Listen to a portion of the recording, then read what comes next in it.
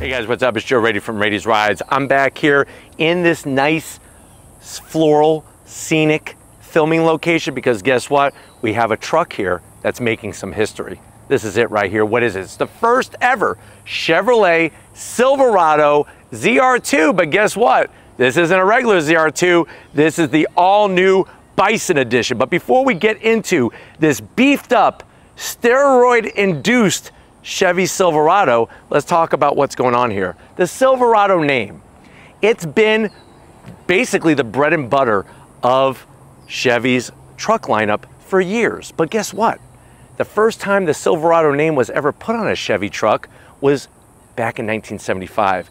It was not the name of the model, it was a trim. It was a new top trim to Chevy's CK full-size truck lineup and that's where we see Silverado. In 1999, right before Y2K, is where they brought the Silverado name to the actual model. Now, what's exciting is, is that the Silverado has received some changes over the years. It recently just got a refresh, but for the first time last year, we were there out in the desert with the new ZR2 Silverado. Well, guess what? You'll still be able to get a ZR2. Now, working with AEV, they are bringing you the bison. So what I want to find out is, with what you're getting, if you check off that bison option on the option list, is this worth the price in the end for what you're getting? Especially if you want that beefed up off-roader, or are you better off just going Raptor or something equivalent to that? Let's go ahead, let's dive into our Silverado ZR2 Bison and find out. Right off the bat, the color. I love this blue on the whole Silverado lineup, especially the ZR2. If you didn't see our review when we were out in the desert over in Palm Springs, I'll leave the link to that review at the end of this one. Like I said, they're still gonna have the Trail Boss, still gonna have the ZR2. Now you have a Bison edition. Now, right off the bat, the way to tell that this is a Bison compared to the standard ZR2 is that the standard ZR2, this is all black. On the Bison, you'll notice how they take the body color through the grill horizontally. You're still gonna get your massive, look at this, my whole hand fits in there. Massive flow tie, remember that first appeared on the 2014 Camaro Z28. Never seen a flow tie this big. This is one that Flava Flav would hang around his neck instead of the clock. I do like the way they put the red on the inside perimeter of the flow tie just to make it pop. And then as we come across, you'll notice that we have the ZR2 badge, just like before, but with that body color matching. We have our LED lighting, full LED on the headlights, and of course, the turn signals and daytime running lamps. Now, besides just this, this isn't it. Here comes some of the other big changes. You're gonna have a stamped steel full front bumper from AEV. We have our LED fog lamps. I am gonna have to zonk it because there are some fake vent areas, but as we kind of drop down together, you'll see that AEV badge. I'll have Steven kind of zoom in, show you the Bison. What does AEV stand for? American Expedition Vehicles. Underneath, you're gonna get a total of five skid plates that protect the whole underbelly of this beast over 11 inches of ground clearance. So that's another nice touch that you get when you go bison. But you'll see, you get yourself some tow hooks, you're gonna be able to yank a Raptor right out of that quicksand very easily. Now, as we rise back up, you're gonna get your hood bulge just like on a ZR2. My one zonk is not functional. The good news is it's not meant to look like it has a functional hood scoop or anything like that, but you got the bulge, it's gloss black. It does give it a nice extra kind of, mm, look at the front end of that thing. And if you need a bulge, just like a lot of people out there want the bulge, you're getting your bulge on this Bison. Now, when we come around the bend, here's one of my favorite touches. You're gonna get Bison specific wheels. I love this rotary style design, that metallic, carbon flash metallic paint job. There's the AEV badge, that's an 18 inch wheel, 33 inch Goodyear Wrangler off-road tires with all that protection. And then you'll notice as we zoom in, you get that full beefed up suspension from Chevrolet, the upper control arm, the springs. Please excuse the dirt and the mud. Obviously, we've been having a little bit of fun in this Bison. Now, as we come down the side, you do have flat black around the fender openings. I'm okay with that on this type of truck, Nobody does the badges better than Chevy. ZR2 looking good. And of course, underneath the hood, we got the 6.2 liter V8 engine. Gloss black on your mirror caps, 360 degree cameras. You'll notice that really beefy frame slider, also known as a rock slider for when you're going off-road. You're gonna have front and rear electronic locking diffs, two-speed transfer case, of course, gloss black on the mirror caps. And then as we work towards the rear, you'll notice that you have that roof spoiler coming off the back of the cab. Love the way this comes with the tonneau cover. Gives you some nice weatherproof lockable storage in the bed. Down below, you see that beefy steel frame. We got a nice custom exhaust. The bison badge, I like the way it's not too big. This doesn't need to be some big gaudy bison on the side of the vehicle. For those who know, will know, especially when you're off-roading. They'll know that you're in a bison. And then of course we have LED lighting on the tail. We have our multifunctional flex tailgate. And when you go bison, you're gonna get that nice satin black finish. American Expedition vehicles with the bison. And then as we go down, stamped steel rear bumpers as well. Exhaust is tucked underneath. You got your spare, your towing capability. And then of course, that nice soft release on the bed with the full liner, ZR2 badge at the front. You got your power supply on the passenger side, which is great right here. Nice power supply. You got your LED lighting that tonneau cover slides forward and just like we showed you before, very easy to flex your multi-positional tailgate with the handle. But why don't we go ahead, let's pop the hood and check out the heart of this Bison. All right guys, we got the hood open. You do have hood struts. Underneath the hood is that tried and true 6.2 liter V8. The one zonk I have is I wish that they gave it the performance package that you could get on the new Tahoe RST that we brought to you. But there's nothing wrong with 6.2 liters of naturally aspirated V8 goodness, 420 horsepower, 460 pound-feet of torque, made it to a 10-speed automatic transmission, 0 to 60 in about 5.7 seconds. MPGs, if you really care, you're watching the wrong review. 14 in the city, 17 on the highway. The truck weighs 5,800 pounds. Here's where you're really gonna see the advantage is approach and departure angles. 32 and a half degrees worth of front approach, 23.4 degrees of rear departure angles, which is gonna allow you to freaking go through just about anything with this Bison. But you know what? It's great to look at it. What I wanna find out is what is it here like. So let's go ahead, let's fire up this Bison and hear its roar.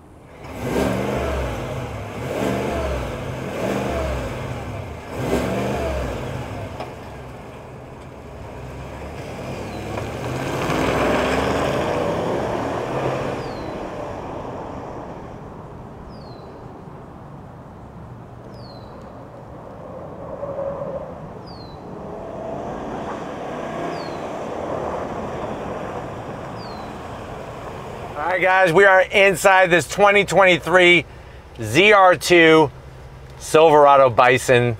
First time ever with Chevy having the Bison name, like I said. I know you're wondering, well, Joe, let's get down to the nitty gritty. I got my abacus out. I need to know how much this is to see if I could afford it. What is it? Lay it on me. Here it is. You asked. MSRP, the way that this one is optioned, is right around $81,000. To put it in perspective for you, the Bison package from AEV is right around $8,000. Technically like 7,900. But let's see what you get for that extra money to the door panels. I love what Chevy has done with the Silverado. The soft material up top, you have that great kind of like gray finish trim right above the midsection there. You got the neon yellow stitching and then a door pocket that's very beefy. Two big Bufords from Checkers, two strawberry milkshakes, and the Bose sound system looks good. Going from the door panel to the dash, same thing. Look at the materials. Never before has there been a Silverado with these materials. You open this up, wham bam, thank you ma'am. That's where you're gonna put your 22, 22 off-road Twinkies. Remember, off-road Twinkies are filled with fudge. Close it up, there's that gray trim like on the door panel, the dark chrome, Slide on in, what do you have? We have over 13 inches of infotainment system screen. I like the way it's integrated with the rest of the dash. You got a place up here where you can put two of those off-road Twinkies to get them warmed up. And then, of course, Google Maps. Chevy does a great job. GM does a great job with their infotainment, the graphics. I mean, look at this clock.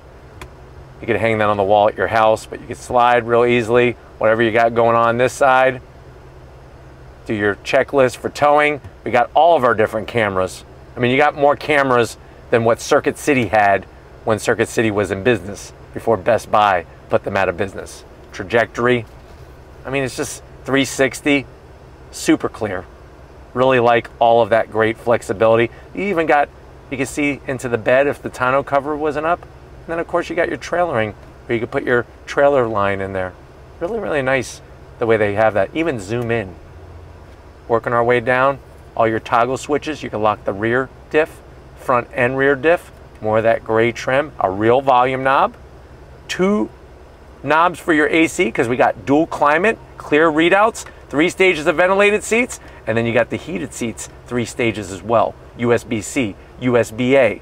You got your trailering release, your start stop button. We do have a nice place to put two glazed Krispy Kreme donuts, two cup holders, maybe for some hot cocoa, a place to put some Slim Jims. This is gonna control that 10 speed automatic transmission.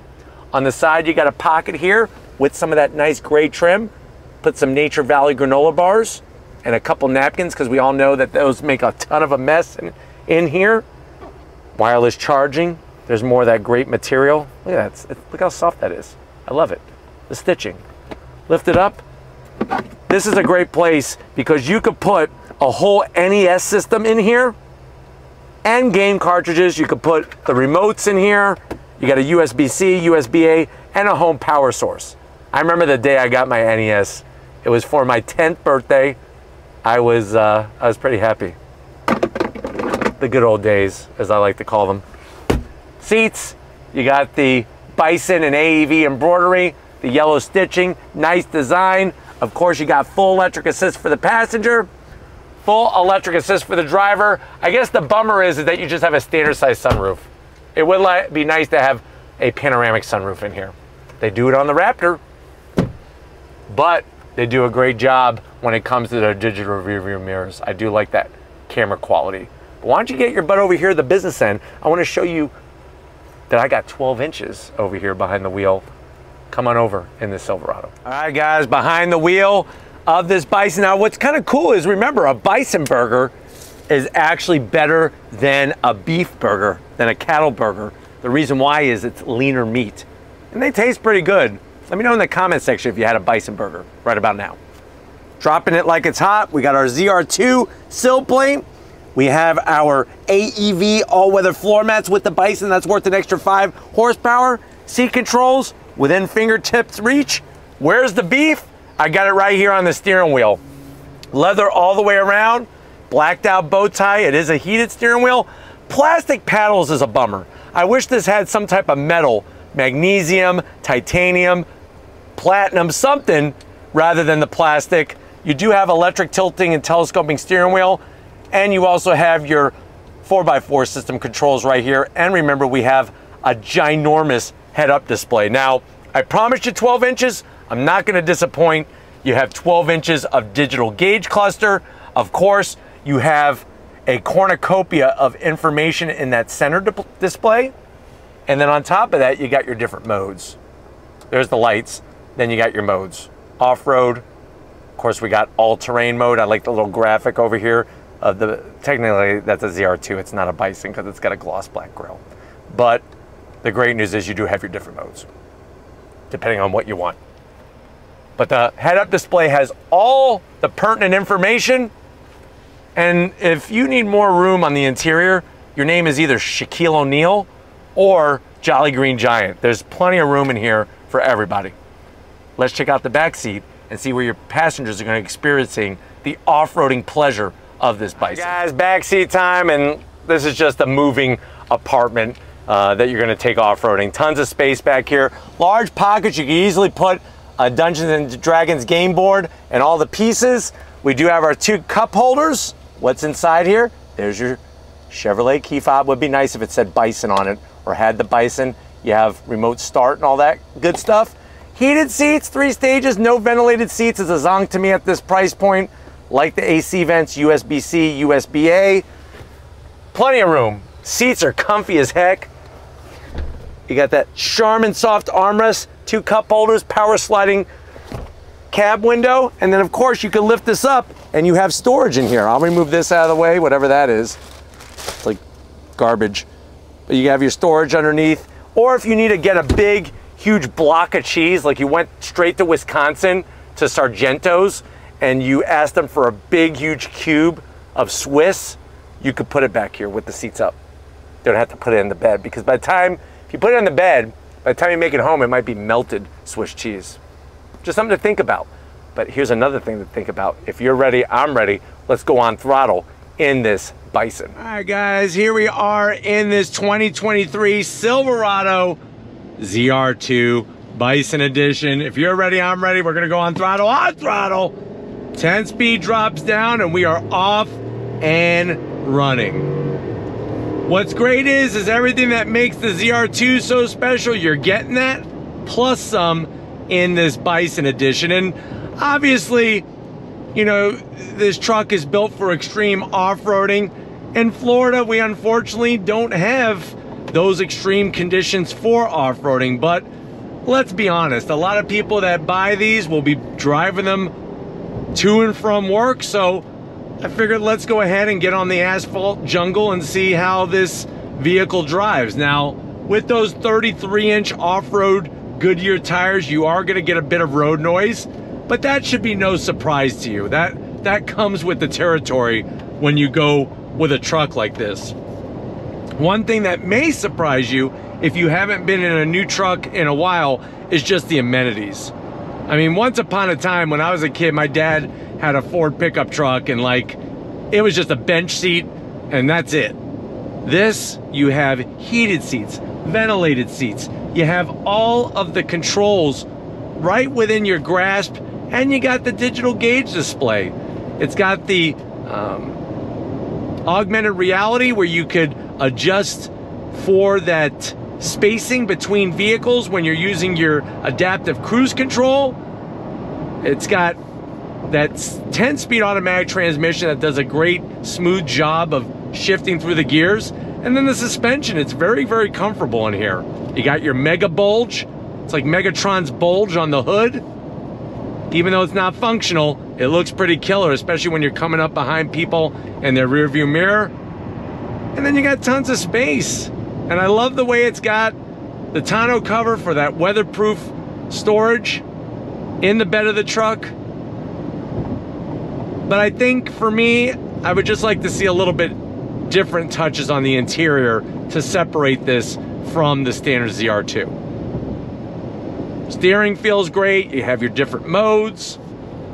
Depending on what is happening underneath the four corners of this truck. Going into this corner here, the great news is it doesn't like sway all over the place. It's a very controllable driving experience. And I really like that in this Bison. All right, guys, get ready for it. We're gonna go on throttle as soon as this vehicle passes. On throttle, here we go. You're definitely gonna have your pulling power and of course, your merging power, even though you're in this massive full-size truck.